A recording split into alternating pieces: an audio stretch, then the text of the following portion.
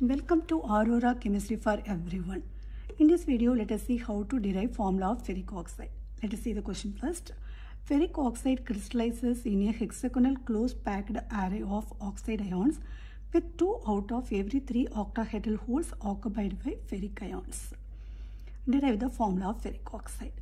First, let us draw column to represent to write the relation between voids and sphere okay so this is tetrahedral void here octahedral void here sphere.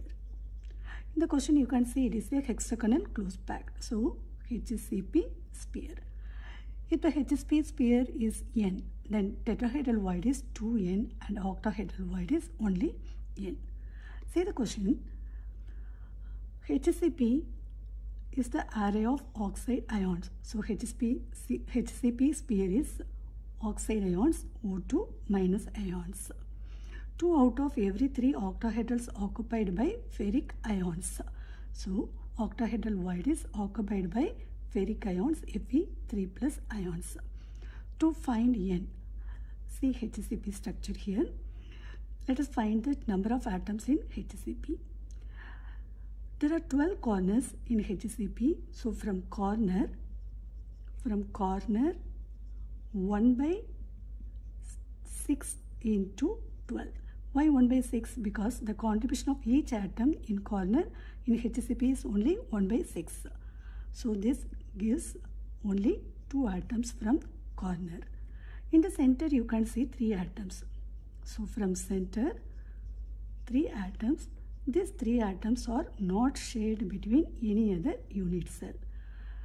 In face center you can see two atoms but this atom is shared between adjacent unit cell. So its contribution is only 1 by 2. So from face center, face center half plus half is equal to 1.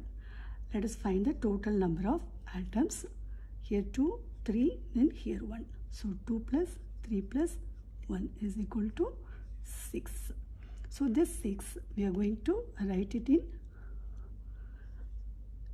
HCMP sphere. So in the question it is given 2 out of every 3 octahedral holes. So here 2 by 3 into 6 in compound elements are present in definite ratio.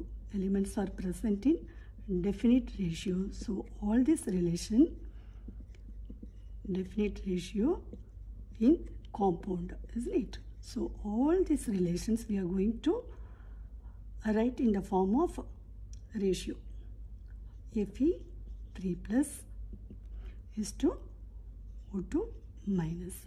Fe 3 plus 2 by 3 into into 6 then here O2 minus it is 6 it gives 4 is to 6 this 4 for Fe3 plus and for 6 for O2 minus. Let us write Fe4O6 this can be simplified isn't it? So let us write Fe2O3 so Fe2O3 is the formula of ferric oxide. Thanks for watching this video.